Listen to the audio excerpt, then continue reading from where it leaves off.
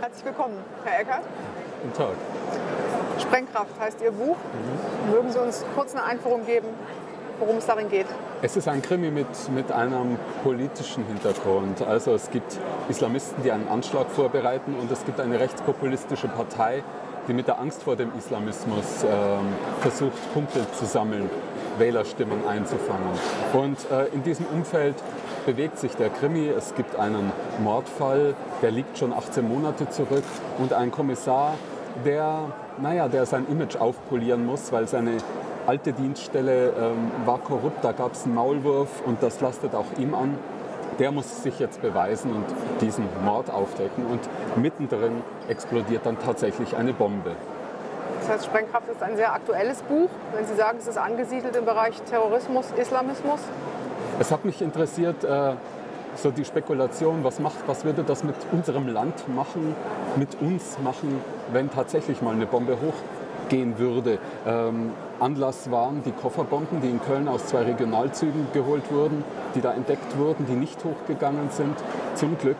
Und dann habe ich mir überlegt, ja, was würde passieren, wenn doch mal was explodieren würde, wenn also der Islamismus äh, vor dem ja ständig gewarnt wird. Auch jetzt wieder rund ums Oktoberfest äh, gab es ja jede Menge Warnungen. Wenn tatsächlich da was draus werden würde, die Warnungen wahr werden würden. Was daraus werden würde, auf der einen Seite die Hysterie, die vielleicht daraus ja, kommt, auf der anderen Seite... Auch die Politik mit ihren immer sich verschärfenden Sicherheitsgesetzen. Also in den 70ern äh, Antiterrorgesetze äh, erstmalig eingeführt wurden, hieß es, das ist ja nur vorübergehend. Jetzt gibt es die RAF nicht mehr, aber die Sicherheitsgesetze sind seitdem noch weiter verschärft worden. Und äh, wer weiß, wo das mal endet. Aber Sie drehen das Rad noch ein bisschen weiter, indem Sie sogar noch darüber hinausgehen und noch Personen ins Spiel bringen, die aus diesem ganzen Szenario auch noch Profit schlagen. Ja, ähm, weil ich will ja nicht so einen ganz üblichen Terrorismus-Thriller schreiben. Das wäre mir zu einfach oder zu platt gewesen. Ähm, ich, ich gucke immer gern nach, was gibt es noch für Interessen, die eventuell verwickelt sein könnten. Und dann wird es ja auch spannend. Also hinter dieser rechtspopulistischen Partei steckt ein Unternehmer, der einfach mehr Einfluss haben möchte und hofft, dass die Partei sogar in die Landesregierung kommen könnte. Er spekuliert damit. Und hinter, äh, hinter dem Anschlag steckt dann letztlich auch etwas ganz anderes und nicht die Islamisten, die es zwar gibt, die aber letztlich auch Opfer geworden sind. Die quasi alle in irgendeiner Form für Eigeninteressen instrumentalisiert werden. Ja, wir sind ja alle böse, oder? Mehr oder weniger. Sie sprechen in Ihrem Buch aber auch den Umgang der Medien mit dem Thema Terrorismus an. Ähm, mit dem sind Sie nicht glücklich?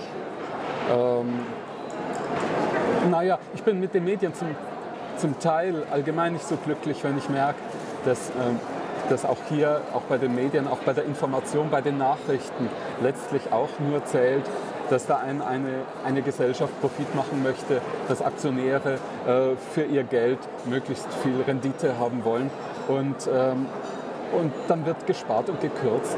Und was dann rauskommt, ist nicht unbedingt äh, eine Berichterstattung, die wirklich informiert. Also ein bisschen auch ein Plädoyer, da vielleicht was dran zu ändern? Also ich weiß nicht, äh, ob man da viel dran ändern kann. Aber zum Glück gibt es ja noch Qualitätsmedien. Und auch das Internet ist ja tatsächlich dann, wenn man vom Fernsehen, Hörfunk und, und Printmedien nicht gut, sich nicht gut bedient fühlt, kann man ja immer noch im Internet recherchieren. Das gibt es ja auch. Genau. Wie gehen Sie denn mit äh, solchen Terrorängsten um? Sie haben am Anfang geschildert, es gibt ja diese Ängste, zumindest in der Gesellschaft. Und was würde passieren in der Sekunde, wo, wo Sie mal nicht nur Ängste sind, sondern wo ein reales Szenario tatsächlich existiert? Ähm, Freiheitsrechte dann sehr schnell eingeschränkt werden. Was passiert in Ihrem Kopf? Was ja, bei mir ist die Angst vor der Einschränkung der Freiheitsrechte größer als die Angst um mein Leben, weil auch ein, ein schlimmer Anschlag mit 100 Toten, ähm, wäre es ja trotzdem unwahrscheinlich, dass ausgerechnet ich darunter wäre. Also ich bin da relativ gelassen und wenn es mich trifft, kann ich auch nichts mehr machen. Aber äh, man kann mit den besten Sicherheitsgesetzen nie hundertprozentige Sicherheit herstellen. Ähm, meine Frau hat mich gewarnt bei dem Buch, weil es kommen ja auch äh, Islamgegner vor, haben gedacht, du könntest selbst Anschlagsopfer werden, wenn du dazu dich zu drastisch äußerst. Aber auch das liegt mir völlig fern, solche Gedanken. Das hat Sie beim Schreiben nicht beeinflusst? Es wäre ja schlimm, wenn es das tun würde. Also wo, äh, was würde das, äh, der Begriff des freien Schriftstellers denn noch bedeuten, wenn man die Schere im Kopf haben müsste beim Schreiben. Nein, also da habe ich keine Angst. Und ich glaube nicht, wegen einem Krimi wie Sprengkraft werden nicht unbedingt in Kairo oder Islamabad deutsche Fahnen auf der Straße verbrannt. Das glaube ich nicht. Es sind, ja, es sind ja fiktive Figuren, die fiktive Dialoge sprechen. Und der Verlag hat auch nicht gezittert?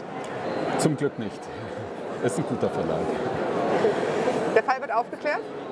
Ja, natürlich. Und am Schluss gibt es noch mal eine Pointe obendrauf. Also noch mal eine Drehung weiter, die ich natürlich nicht verrate. nicht verraten. Okay, bitte lesen. Vielen Dank, Frau Eckert. Bitte, gerne.